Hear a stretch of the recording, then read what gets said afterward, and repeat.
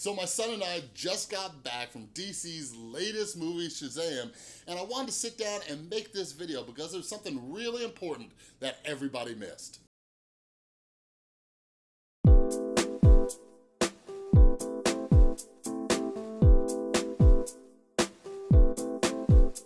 What is up, everybody? This is Chris from The Rewired Soul, where we talk about the problem, but focus on the solution. And if you're new to my channel, my channel is all about mental health, and sometimes what I like to do is pull different topics from movies, TV shows, pop culture, and all that kind of stuff to try to teach you how to improve your mental and emotional well-being. So for any of that stuff, make sure you subscribe and ring that notification bell. So yeah, we will be talking about Shazam today, and there will be some spoilers. So if you haven't seen the movie yet, you might want to turn this video off, come back later.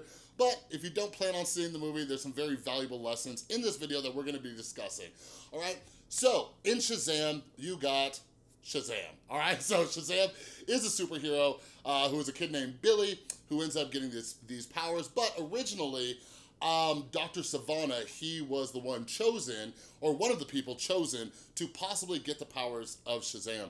So the movie starts off with where we see um, Dr. Sivana as a child, and his name's Thad, and you could tell that, you know, his father and his brother, they think he's weak, they think he's not gonna amount to anything, and all of that.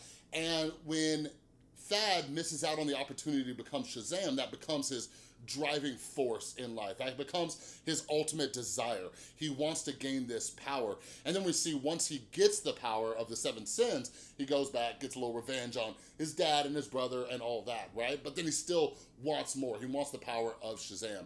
So Billy, on the other hand, he has a different driving force, and that's to find his mother. So when Billy was a kid, he got separated from his mom, and now he's just been bouncing from foster home to foster home, and he's constantly on this search for his mother. So his ultimate desire is trying to find his mom, connect with her, and have his actual family.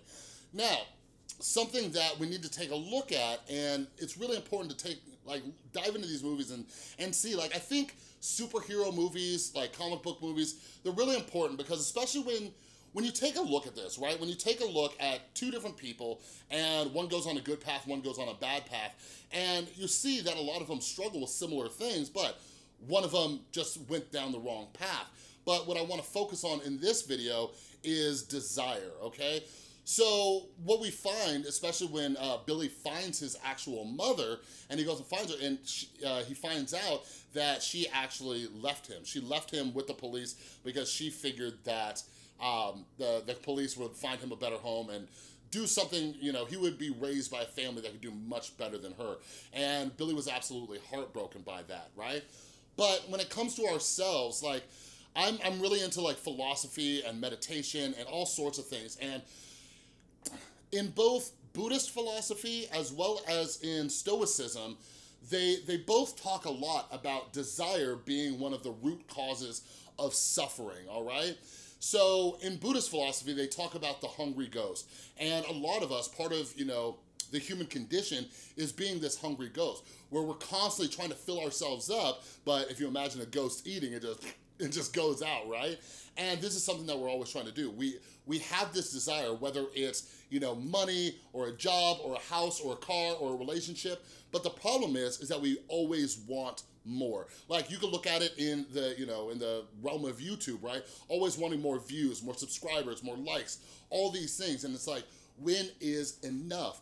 And what we find is, is that sometimes that path of desire can ultimately lead us to more suffering. And this is something that I, I find happens to a lot of people. So when you look at Billy, for example, his ultimate desire was to reconnect with his mom. Not saying that that's a bad thing, but you know, sometimes once we reach that thing that we were looking for, we find that it's not what we expected, right? Like, for example, a lot of people work their butts off and they're trying to get higher and higher and higher up in their company and they're constantly wanting more. You know, I've been guilty of this in the past too. I always want, you know, uh, a better position, better money, um, all these other things, but with everything that comes along, there's always a chance of new stresses. Like, even if right now I handed you a million dollars, right? And you went out and got, you know, houses, cars, vacations, all these other things. With everything that you purchase, there's going to be new stresses. And the problem is when we're constantly trying to find these external things to fill us up, oftentimes we find that we're still empty in the end, all right? But what's the solution? What's the solution to this? So in both Buddhist philosophy as well as in uh, Stoicism, like there's a few things that we can do to help manage this desire. And in, in the aspect of Shazam, one of them is acceptance, all right?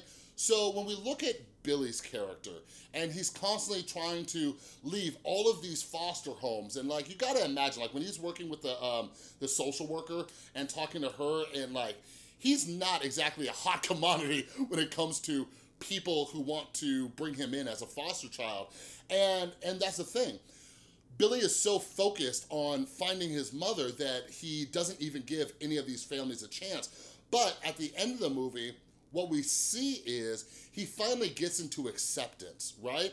And for some of us, we need to we need to get that ultimate desire just to realize that we were fine just the way things were all along. So at the end, when we see Billy sit back down at the table with uh, the other foster kids and his two foster parents, like he's finally in this acceptance where he's like, this is my family. And that was kind of an overarching theme, uh, overarching theme throughout the entire movie, was accepting this is his family, this is his home. This is just what he needs to work on. This is what he should be putting his efforts in. I could really relate to that character of Billy. So while I wasn't a foster child, you know, I, I grew up and I had an alcoholic mom, but I, I lived with my dad. My dad was constantly working.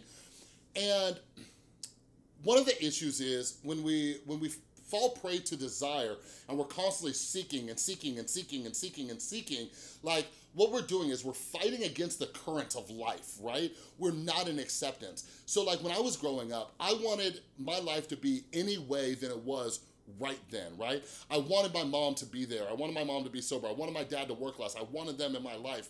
You know what I mean? But very luckily, like I had really good friends who became somewhat like a, a, a family.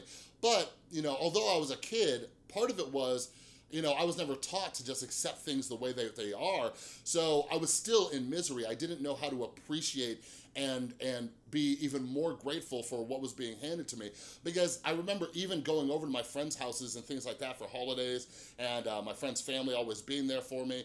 You know, I was constantly thinking about what I didn't have rather than accepting what was right there in front of me and being grateful for it. And speaking of gratitude, gratitude is the other way that we kind of overcome um, this, this desire that's kind of messing up our minds. That's something that I found. Because a lot of us, if I'm just being real with you, like from my experience talking with a bunch of other people, even my own experience, a lot of us are very entitled and ungrateful, all right? We, we're, not, we're never grateful for what we do have, we always want more. And this is one of the issues with just living in kind of like a capitalist society, right? Because we're always trying to work to get the next thing, to get the next thing, right? rather than being grateful for what we do have. Like I was, uh, I'm currently um, reading this book on Stoicism, and something um, that it was mentioning today in the book um, when I was reading it is actually a chapter on desire. Maybe that's why it's in the forefront of my mind. Is if you want to be grateful for the things you have, imagine having none of it right? Like imagine not even having what you do have because sometimes our brain gets so focused on what we don't have, we forget about how valuable the things we do have actually are and what they mean to us. And it doesn't even have to be material things. Like it doesn't have to be this computer behind me. It doesn't have to be the camera I'm recording on. It doesn't have to be the microphone I'm using. It doesn't have to be my phone. It could be, you know, my son who I just got to go and see this movie with. And then we get to go play Fortnite, you know, after I'm done recording and uploading this, right? I have my beautiful girlfriend. I have my family. I have my friends right? So sometimes the way I kind of snap back into gratitude is just to remember that I could have none of these things. Like, it, it's kind of messed up to say or to even think, but sometimes, you know, when, when we see others who don't have what we have, it gets us into that gratitude. When I was at one of my lowest points in life, one of the best suggestions I ever got was, Chris, when all you can do is sit in self-pity and think about the things that you don't have, call someone else on the phone and ask them how they're doing, right? And the more I did that, like my problems, they they didn't seem like anything at all. Like maybe just like something dumb happened that day. Like maybe a family member said something to take me off. Then like I would just randomly call a friend and just say, hey, I just want to see how you're doing. And then something, you know, something awful's going on in their life. Maybe they just lost a job or their significant other lost a job. Maybe a family member was fallen ill or whatever that is. And it helps me get back into gratitude. But not only does it help me be grateful, but it also allows me to be there for other people. And this is one of the best ways to feel good and to feel better about yourself, right?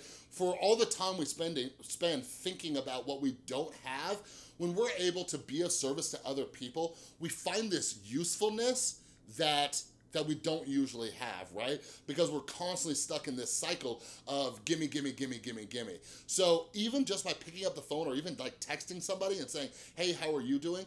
It allows us to get out of self and start really, really, really being happy with where we're at in this moment, all right? But anyways, let me know down in the comments below if you fall prey to desire, if you're constantly somebody searching for the next thing and the next thing and the next thing. If you saw Shazam, let me know your thoughts down below. My son thinks it's gonna be better than Avengers. We'll see on that one though, all right? Anyways, that's all I got for this video. If you like this video, please give it a thumbs up. If you're new, make sure you subscribe and ring that notification bell because I make a ton of videos. And a huge, huge thank you to everybody supporting the channel over on Patreon.